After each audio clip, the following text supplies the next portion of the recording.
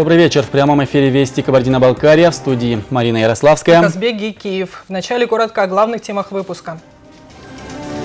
Обратный отсчет. Три дня до старта Кавказских игр. Готовность к фестивалю площадок спортивных и культурных проинспектировал премьер республики.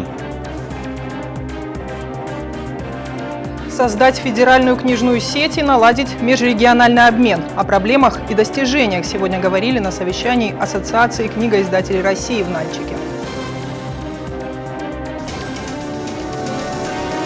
Не хлебом единым. Финансист по специальности искусствовед в душе Даниал Хаджиев о своей уникальной коллекции. Начнем с новостей федерального уровня. Нижняя палата парламента страны против безобразного поведения внутри храмов, мечетей, синагог и антирелигиозных высказываний. Заявление, осуждающее оскорбление чувств верующих, принято сегодня на заседании Госдумы России.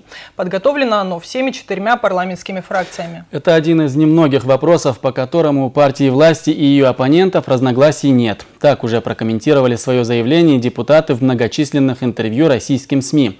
Неуважение к иному вероисповеданию преданию в многоконфессиональной стране чревато непредсказуемыми последствиями.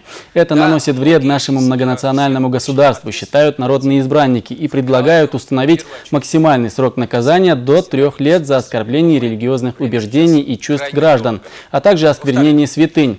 Существующая на данный момент ответственность за вандализм не покрывает всех случаев оскорбления чувств верующих, поэтому законодатели намерены ввести специальную статью в Уголовный кодекс. Не исключено, что поправки могут могут появиться уже на этой неделе. Наказание, считают депутаты, должно быть предусмотрено из-за оскорблений чувств верующих в интернете. К темам республиканским час назад премьер республики Иван Гертер проинспектировал процесс подготовки к предстоящим на этой неделе Кавказским играм.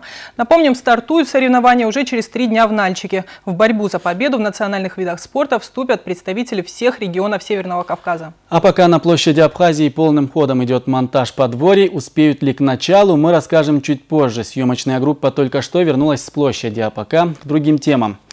Сегодня в Нальчике открылось совещание Ассоциации книгоиздателей России. Посвящено оно важнейшим вопросам развития национального книгоиздания, межэтническим культурным взаимосвязям, а также созданию единого культурного пространства посредством литературы. Участвуют в работе совещания директора ведущих региональных издательств и курирующие эту сферу представители исполнительной власти субъектов. О чем говорили, расскажет наш специальный корреспондент Сафар Гириев.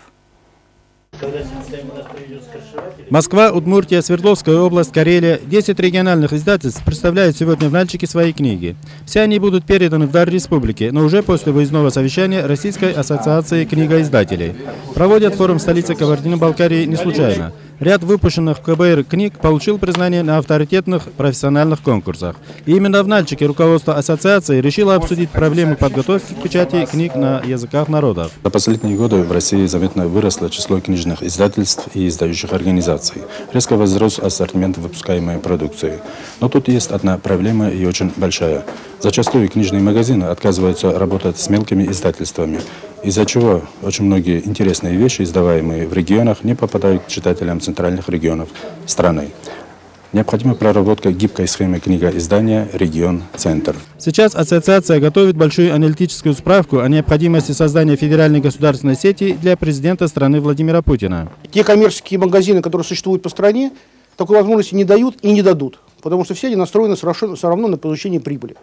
Книга же это, это тот товар, то произведение искусства, которое, к сожалению, прибыль не приносит.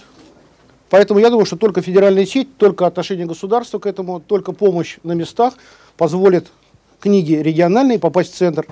Вице-премьер КБР Казим Юанаев отметил, в Кабардино-Балкарии средства, выделяемые местными властями на книгопечатание, развитие материально-технической базы издательств увеличивается из года в год. Но, увы, здесь не все решает деньги, считает зампред республиканского правительства. Сегодня, вы все знаете, есть интернет, телевидение, где-то книга уже немного отстает.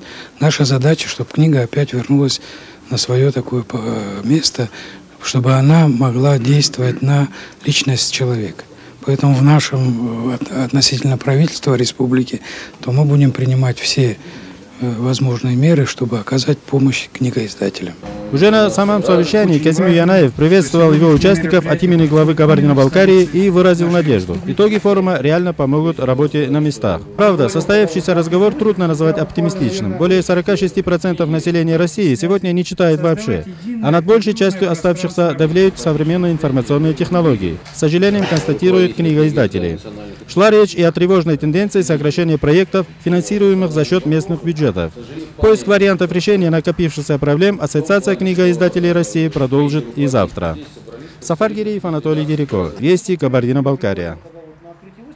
4 миллиарда рублей потратит республика на развитие водохозяйственного комплекса до 2020 года. Правительство Кабардино-Балкарии приняло соответствующую целевую программу. Направлена она на гарантированное обеспечение водными ресурсами населения и отраслей экономики, а также защиту от наводнений. В программный перечень включили строительство и реконструкцию 19 сооружений инженерной защиты и капитальный ремонт еще 12 гидротехнических сооружений. А в Прохладинском районе в рамках программы начнется строительство каскада ряда водохранилищ. В перечень подлежащих капремонту берегоукрепительных сооружений включены работы на левом берегу Малки, около селения Сармакова, ремонт берегоукрепительной дамбы на реке Черек, укрепление сооружений на реке Баксан в районе Черной речки. Документ разработан Министерством природных ресурсов и экологии КБР. Церемония награждения победителей первого межрегионального радиофестиваля «Голос Кавказа», посвященного памяти первого президента Чеченской республики, героя России Ахмад Хаджи Кадырова, сегодня прошла в Грозном. Более 50 радиостанций двух округов страны ЮФО и СКФО боролись за главный приз конкурса. Пока в журналистском форуме принимают участие только регионы Юга России, но в последующем географию участники фестиваля обещают расширить. В состав жюри конкурса был включен и наш коллега, заместитель начальника службы информации ВГТРК Кабардино-Балкария Заур Гидуев. Он сейчас выходит на прямую телефонную связь со студией. Заур, добрый вечер. Расскажите про победителей. Добрый вечер, коллеги. Это первый региональный радиофестиваль за последние 10 лет. Здесь были представлены порядка 80 работ. Это информационные блоки новостей и тематические передачи церемонии награждения утром предварил круглый стол, где обсуждали будущее радио национальных республик. Также принято решение обмениваться радиоматериалами. Ожидалось, что на закрытии фестиваля «Голос Кавказа» приедет глава Чечни Рамзан Кадыров, но в последний момент его отвлекли более важные дела. Э, сейчас на огромном мультимедийном экране крутятся ролики с представлениями участников радиофестиваля. Наш видеоролик о Кабардино-Балкарии, можно сказать, прошел на ура по секрету скажу, что моя коллега Наталья Усупова взяла здесь специальный приз. Какой нашим телезрителям, думается, расскажем позже. Пока презентация работ, да и, собственно говоря, гала-концерт еще продолжается. Коллеги, Спасибо, Заур. Напомню, это был Заур Гидуев из Грозного, где сегодня назвали имена победителей первого межрегионального радиофестиваля «Голос Кавказа». А мне сообщают, что материал о правительственной инспекции объектов, на которых в эти дни пройдут Кавказские игры, готов к эфиру. Я передаю слово Елене Никушховой. Нальчик, площадь Абхазии. Уже ранним утром здесь закипела работа по возведению сложных деревянных конструкций. Семь регионов из КФО Дни Кавказских игр представят на этом месте свои национально-этнографические подворья. Самым грандиозным должно стать наше, республиканское, считают в оргкомитете соревнований. Сегодня утром работу сборщиков и ход общей подготовки к фестивалю проинспектировал министр культуры КБР Руслан Фиров. Руководитель ведомства результатами остался доволен. Очень яркое солнце, я думаю о том, как бы не пошел после него дождь. Поэтому э, будем надеяться на лучшее. А буквально час назад оценить готовность республики к приему гостей на площадь Абхазии прибыл председатель правительства республики Иван Гертер. На сегодняшний день, наверное, мы готовы к 90 процентов по, если мы говорим по общему показателям. Если брать отдельно спортивные мероприятия, да, но мы сегодняшние готовы нас практически 100%. Если брать культурно-массовые мероприятия, мы тоже практически готовы 100%. Глава Кабинета министров напомнил, что честь провести Кавказские игры республике выпала благодаря прошлогодней командной победе в Карачаево-Черкесии. Тогда наши земляки принесли Кабардино-Балкарии не только звание лидера спортивных состязаний, но и крупный грант в 100 миллионов рублей. Именно на эти средства в следующем году в республике планируется построить более десятка спортивных комплексов. А вот для главы Минспорта сейчас главная забота – успешное выступление команды Кабардино-Балкарии в соревнованиях. Тем более, что большинство атлетов, вошедших в нашу сборную профессионально, спортом не занимаются. И тем не менее прогнозы у главного в республике по спорту весьма оптимистичные. Поднятие тяжести мы выиграли в прошлом году. Я думаю, что мы в этом году попробуем выиграть. Э, перетягивание каната мы в прошлом году выиграли. Армспорт мы выиграли и выиграли бег на одной ноге. В этих дисциплинах все наши ребята остались в строю. И думаю, что мы и там покажем хорошие результаты. Вход на «Спартак» в день открытия будет бесплатным, говорят организаторы. Но билеты все-таки потребуются. Пригласительные можно получить в кассах стадиона. Елена Кушхова, Майя Тоха, Вести, Кабардино-Балкария. Комиссия Зольского района принимает работы по реконструкции участка дороги Псинадаха-Джинал-Каменомостская. В капитальном ремонте отрезок трассы регионального значения нуждался давно, но начали его только в июле текущего года. Акт приема пока не подписан, а удобства местные жители уже оценили. Во времена перестройки дорогу засыпали гравием, да так и оставили. С тех пор не только ездить, но и ходить по ней было практически невозможно. За помощью власти муниципалитета не раз обращались. Только в этом году вне плана Госкомитет по дорожному хозяйству выделил более 14,5 миллионов рублей. Объездная дорога соединяет сразу пять сел Зольского района. Реконструированный участок – десятая часть всей трассы. Помимо капремонта обустроены и подъездные пути и гарантию на сохранность асфальтового покрытия подрядчик обещает сроком на 4 года. Не хлебом единым. Фраза, наиболее точно характеризующая героя нашего следующего сюжета. Житель Тернауза Даниил Хаджиев по специальности экономист. Но перспектива считать чужие деньги в каком-нибудь банке его не прельстила. Даниялу куда приятнее тратить свои на любимую коллекцию. Первую картину он приобрел еще в юности. Сегодня его фонд насчитывает более тысячи экземпляров. О финансисте с душой искусствоведа расскажет Фатима Магомедова. В его импровизированной галерее часто звучит музыка. Шопен, Бетховен, Рахманинов. Яркая жизнь скромного коллекционера из Тернауза трудно представить в зале, где к нашему приезду отключили свет, а на полу сложены десятки необрамленных работ. С молоду Даниэл Хаджиев собирает картины, преимущественно малоизвестных художников. Произведений так много, что складывать их уже некуда. Это не для продажи сделанные картины, это творческие, исключительно творческие работы. Студентом Даниил Хаджиев работал в Эрмитаже, взяли электриком. Полученную тогда в Санкт-Петербурге специальность сегодня называют недоразумением. Как мод и транжира, смеется он, может быть финансистом. Но страсть к живописи осталась. Он продолжает скупать новые работы и наслаждаться искусством, почерк которого пока не успел примелькаться. Копия Айвазовского, еще одна удача коллекционера. Настолько точна, говорит Хаджиев, что впору назвать ее преступлением. Мне вот досталась эта работа, я ее выкупил у одних мальчишек. Так она сделана строго пропорционально оригиналу и сантиметров на 10-12 меньше. Только малая часть коллекции украшает стены. Остальные Хаджиев складируют в коридоре. Даже работать устроился здесь же корреспондентом. Редакция газеты «Эльбрусские новости» предоставила помещение для его получки. А недавно пережил потрясение. Говорит, далеко не первое в своей жизни. Полгода назад здесь случился потоп. Горячей водой были залиты десятки работ. Сегодня Даниил Хаджиев обращается с просьбой к руководству республики выделить ему выставочный зал с условиями хранения, экспонирования произведений художников советского периода и настоящего времени. В результате потопа повело подрамники. Многие холсты перетянули заново. На реставрацию ушли немалые деньги.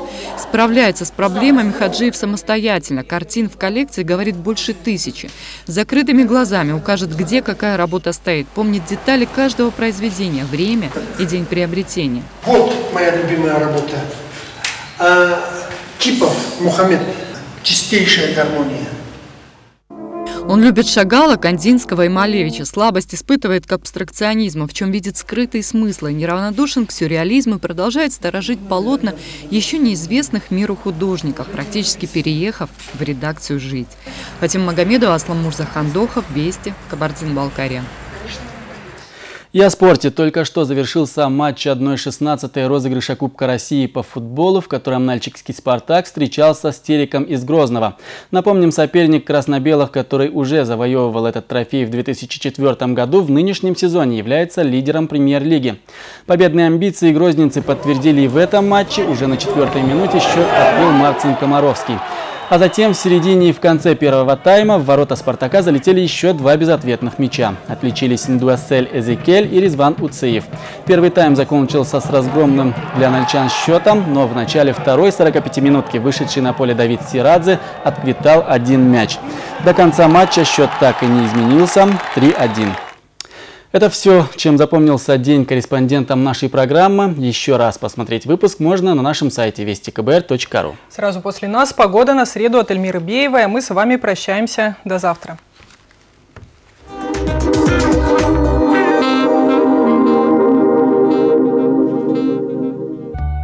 Европейские технологии в коррекции близорукости, дальнозоркости и астигматизма. Глазная клиника «Ленар».